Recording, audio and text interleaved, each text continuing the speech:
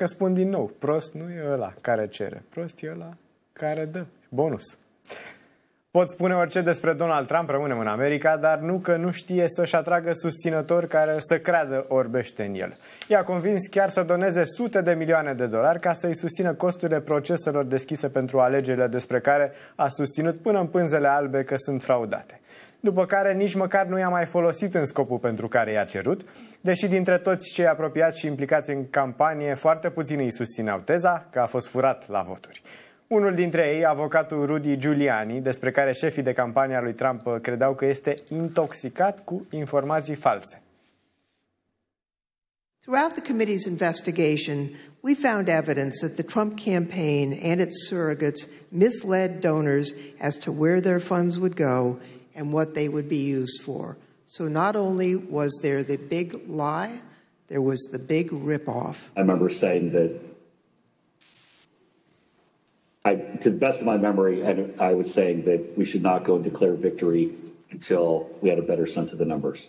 I think effectively, Mayor Giuliani was saying, we want it.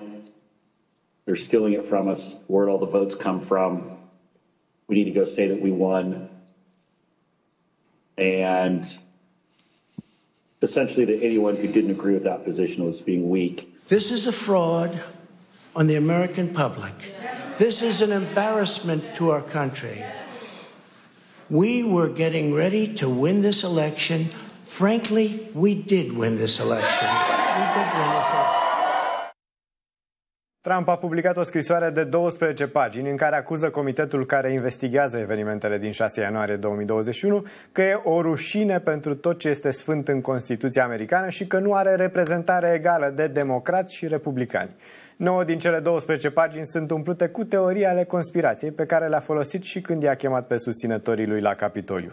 Just for the record, Donald Trump a pierdut toate cele peste 50 de procese deschise pentru fraudă la alegerile din 2020. Ei bine, urmează și alte patru audieri uh, până la 23 iunie în ceea ce privește Capitoliu, iar Donald Trump nu este singurul plângăcios, dar avem și aici aproape pe Melanchon, că tot a venit uh, Emmanuel Macron în țară, mi-a adus aminte de Melanchon, care și el plânge că este uh, furat la voturi. Să-l ia exemplu pe Trump.